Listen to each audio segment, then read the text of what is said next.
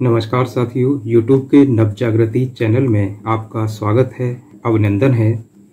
महान लेखक, विचारक श्री श्वेत मॉडर्न की पुस्तक, अपने आप को पहचानिए से महत्वाकांक्षा के बारे में बता रहा था। पिछली वीडियो अगर आपने नहीं देखी है तो डिस्क्रिप्शन बॉक्स में उसका लिंक मैंने दे दिया है। आप वहाँ से क्लिक करके उसे देख सकते हैं। फ़िलहाल मैं आगे की बात करता हूँ। श्वेत मॉडर्न जी आगे बताते हैं। अपने संकल्प पर आरूढ़ रहने का प्रण कर लेते हैं तो उन गलत सुझावों का आप पर दुष्प्रभाव नहीं हो सकता है।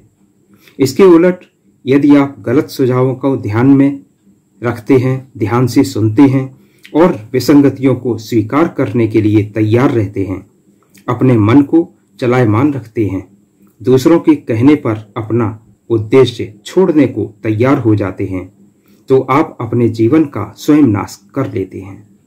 गलत सुझावों को सुनने वाला, इस तरह के सुझावों को प्रोत्साहित देने वाला, इन सुझावों का स्वागत करने वाला और इन्हें सुनने में मज़ा लेने वाला व्यक्ति अवश्य ही मार्ग भटक जाता है।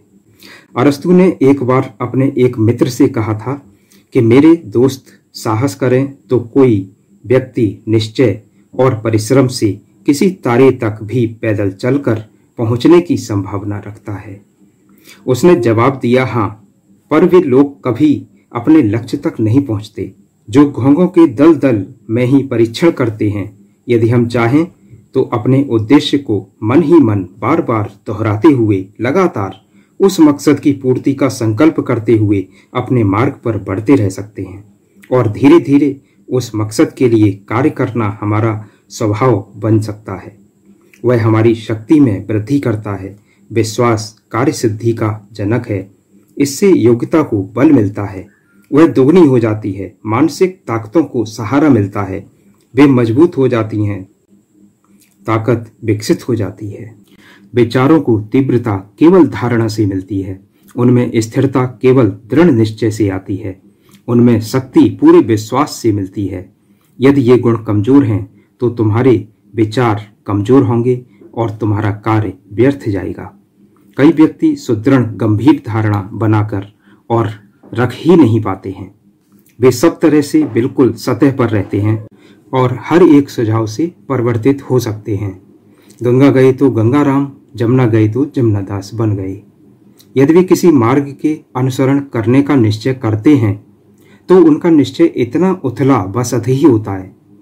सदा अपने विरोधियों अथवा लोगों की दया पर निर्भर रहते हैं, जो उनसे सहमत नहीं होते हैं, पहले विघ्न के आते ही हथियार डाल देते हैं, घुटने टेक देते हैं। ऐसे व्यक्ति जल्दी जल्दी अपने निर्णय बदलते रहते हैं। उन पर विश्वास नहीं किया जा सकता। उनमें फैसला करने की ताकत नहीं होती। उनका कोई भी निश्चय व योजना योगात्मक नहीं होती। वस्तुतः दृढ़ संकल्प की ताकत को पहचान लें और यह समझ लें कि जो हम बनना चाहते हैं, बन सकते हैं, जिसके लिए हम प्रयत्न करेंगे, उसे वे कर सकते हैं। तो इससे उनके संपूर्ण जीवन में महान क्रांति हो जाएगी। हम अपने अधिकतर दोषों और कष्टों से बच जाएँगे और जीवन की उन ऊंचाइयों पर पहुँच जाएँगे, जिनका हम एकांत में बैठकर सपना देखते हैं। सदा हम इच्छा शक्ति के विषय पर ही चर्चा करते रहते हैं। यह जब क्रिया रूप में आती है तो दृढ़ निश्चय शक्ति का ही रूपांतर होती है। इच्छा किसी काम को करने का दृढ़ निश्चय तथा किसी काम को करने की अपनी योग्यता के विषय में दृढ़ निश्चय। एक ही बात यह है कि हम झुके नहीं।